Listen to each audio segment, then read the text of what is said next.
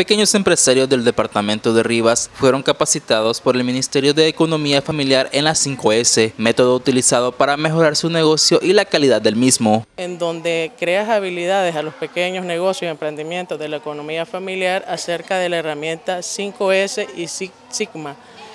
que esta eh, se pretende que cada una la implemente con el objetivo de mejorar calidad, productividad, reducir costos y sobre todo brindar mejor atención a sus clientes. Bueno, significa importante porque hay gente que a veces van a, formar un taller o a trabajar en su casa y no, no hay una manera cómo iniciarse. Y por lo menos cuando ellos se acuerdan de, la, de las 5 S, bueno, lo primero que van a hacer es buscar qué producto van a hacer, qué herramientas van a comprar, quiénes va a colaborar, a dónde van a vender,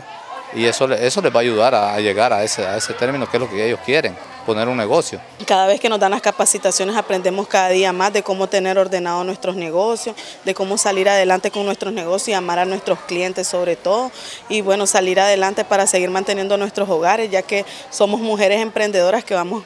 siempre adelante. Posterior a la capacitación, el Ministerio de Economía Familiar reconoció el trabajo y el emprendimiento de siete negocios a los cuales se les entregó el certificado Orgullo de mi Trabajador. Tenemos en lo que es el orgullo del trabajador,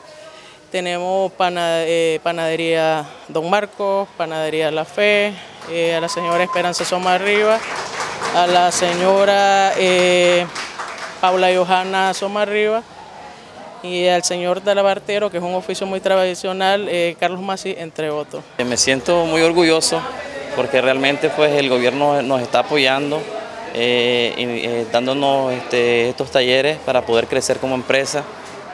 y me da fuerzas también para poder seguir adelante y que mi negocio crezca en el futuro, vaya creciendo poco a poco. Asimismo se les entregó reconocimiento a dos pequeños empresarios orgullos de mi municipio, como lo son Fábricas de Rosquilla María Cano y la Panadería Ballestero, con imágenes de Exxon Martínez, Sicto Caramona, Multinoticias.